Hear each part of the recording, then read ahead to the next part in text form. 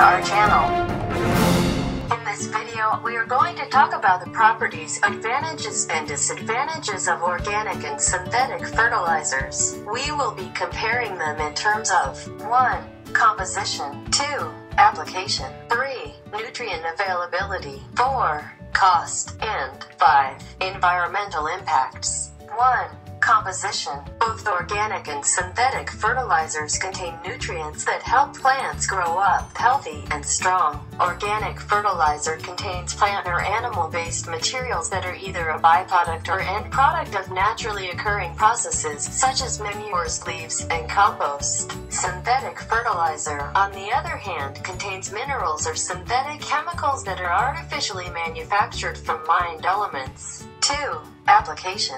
In organic fertilizers, the available types and amounts of nutrients are not known. Without laboratory testing, they have inconsistent composition and results. On the other hand, the exact amounts of nutrients available in synthetic fertilizers and their rates of application are known. Let's take a look at this table. For example, this table shows the nutrient contents of the six major synthetic fertilizers available in the Philippines. The second column shows the percentage of nitrogen content of the fertilizer by weight, while the third and fourth columns provide the percentages by weight of phosphorus and potassium, respectively. Urea and ammonium sulfate provide only nitrogen, with 46 and 21% contents by weight, respectively. Ammonium phosphate and diammonium phosphate provide a mixture of nitrogen and phosphorus. Complete provides a balanced mix of nutrients with 14% of each of the three primary nutrients, while Muriate of Potash provides only potassium with a 60% grade.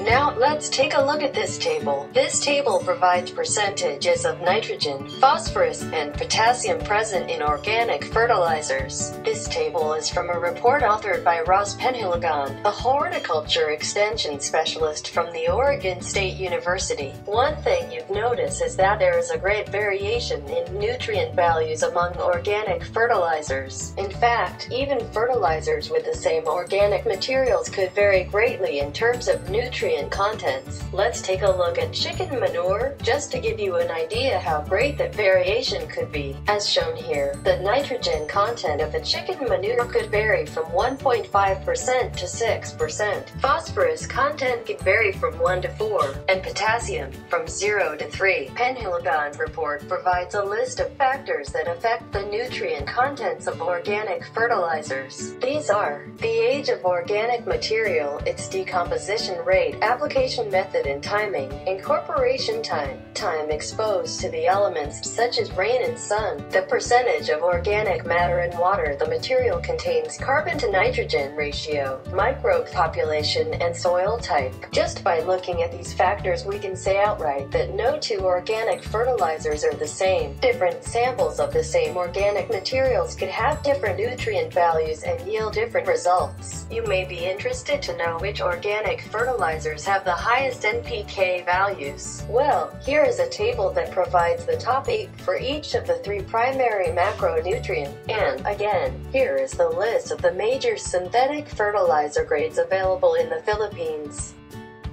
3. Nutrient availability. Nutrient levels in organic fertilizers are low compared to synthetic fertilizers. Synthetic fertilizers contain highly concentrated nutrients. However, organic fertilizer may provide other macronutrients and micronutrients not found in synthetic fertilizers, such as sulfur, calcium, magnesium, aluminum, iron, zinc, copper, boron, manganese, silicon, sodium, cobalt, chlorine, and molybdenum Synthetic fertilizers provide specific types of nutrients which are usually limited to one or more of the three primary nutrients nitrogen, phosphorus, and potassium. Organic fertilizers are slow acting and takes time to supply nutrients to plants. They only release nutrients under favorable conditions, such as when the soil is warm and moist. Synthetic fertilizers, on the other hand, are fast acting and provides rapid nutrition. They are very useful in helping plants that are in severe distress due to nutrient deficiencies. Organic fertilizers also rely on soil organisms to break down materials so nutrients can be released, while synthetic fertilizers are available in plant-ready forms, such as dry granular pellets or water-soluble products. Organic fertilizers promote root growth,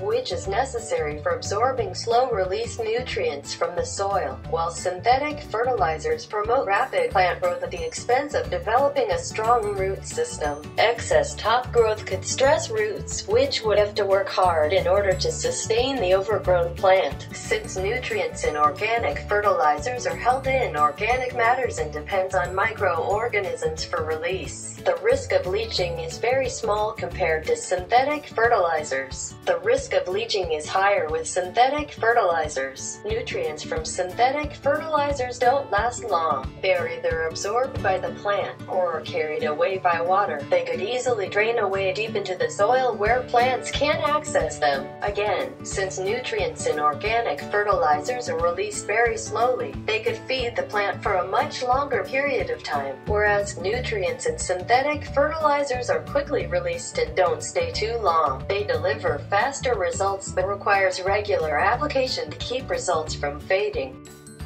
4. Cost. In terms of cost, organic fertilizers are higher in the short term compared to synthetic fertilizers. This high short term cost, however, can be offset by its long term benefits.